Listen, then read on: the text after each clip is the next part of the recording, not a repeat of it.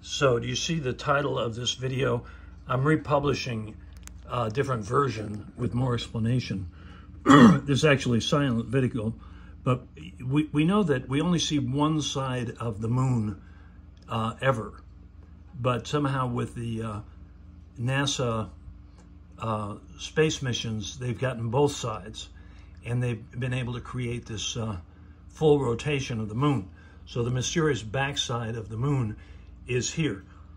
So why would ufologists, so many of them of great uh, importance, claim that the moon is actually a gigantic spaceship a la Star Trek Enterprise with, I think, if, if I'm recalling, uh, let's say 30 different species of extraterrestrials from all over the universe.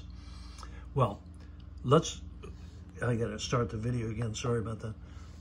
It's only a minute long. But so look at the, look at these lights on the moon. If the moon is, is, is a nothing thing, where are these lights coming from? Those, those can't be reflections of the sun, right?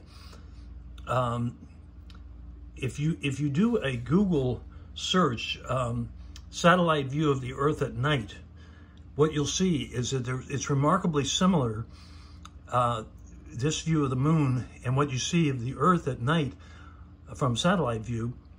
And you have the all the areas of Earth that are lit up and they're cities, right?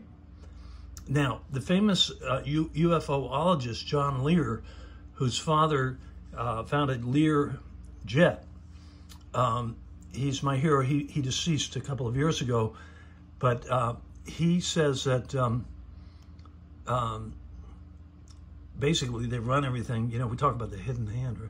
Uh, let's go back here now. Um, he says that there's about 500 million inhabitants of the moon, but all different species. But the unfortunate thing is that the dominant ones are the bad ones, the reptilians from the constellation Draco he referred me to, pardon me, a um, YouTube channel, which I want to refer you to, and then I'll close this. You know, brevity can be a virtue. There's more to say, actually, but we'll see if we want to get into that. But anyway, so Bruce Sees All on YouTube. Bruce, second word is sees all. He has a 14-inch telescope up in Montreal, and every night he trains it on the moon. You can see in his videos see if I can dig it up and post.